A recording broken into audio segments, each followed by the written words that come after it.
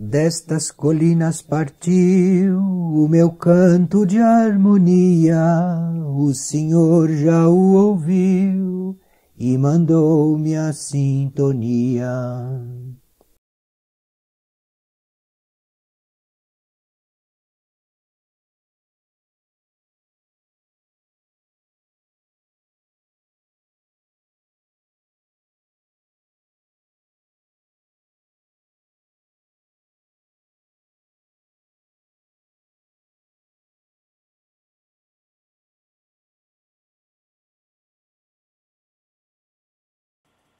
E uma pessoa gostaria de acabar de uma vez por todas, de drenar a sua energia que está sendo usada por outros. Você sente a sua energia drenada para os outros, quer dizer, você se sente desvitalizada porque está se envolvendo com os outros. Se a gente não se envolve com os outros, não tem como sentir a energia indo para os outros. Não tem como sentir isto.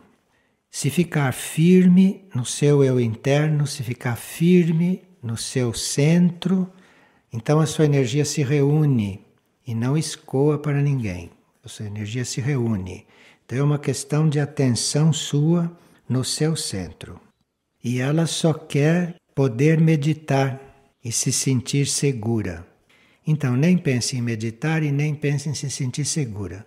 Você reúne a sua energia e vá para o seu centro, que tudo acontece como consequência.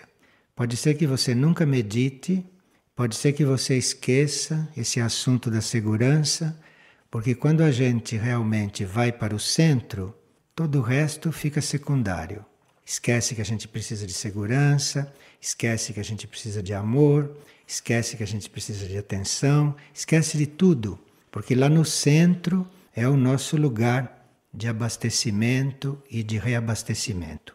Então é só ficar reunida no próprio centro que a energia vai se reunindo e todas essas necessidades de segurança desaparecem.